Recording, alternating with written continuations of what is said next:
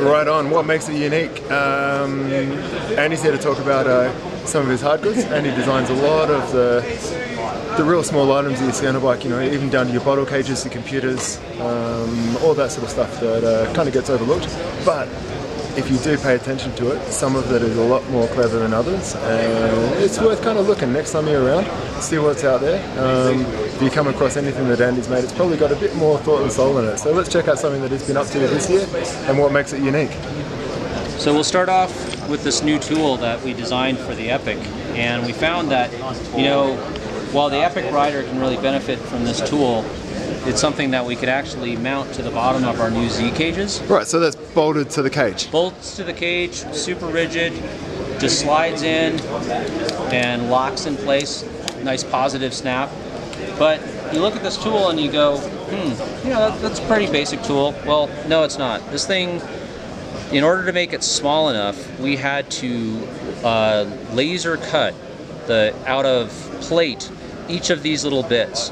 And then after they were cut, we actually had to find a way to put the hex on this thing so that it would never strip out a bolt.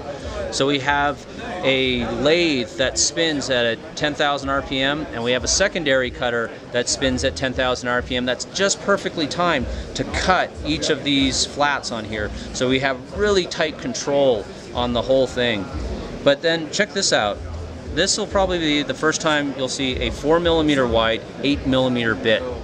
This guy was designed to be super slim, so everything gets really tight. But we needed to make this thing super strong.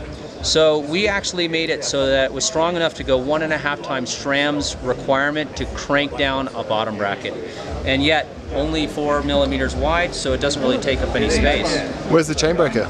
Well, yeah, you notice there's a piece missing here, and well, we wanted to keep this tool as small as possible, and we wanted to think about where are the other places you could hide a tool on your bike. So you got this under your bottle cage, why don't you put it up into your top cap? So this chain breaker right here will sit down in, and it just becomes a standard compression cap.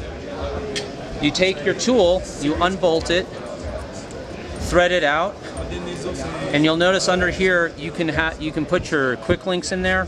Even has a magnet in there so that when you're breaking your chain, it won't they won't fall on the ground and get lost. You flip this lever up, it just gives you a little extra leverage.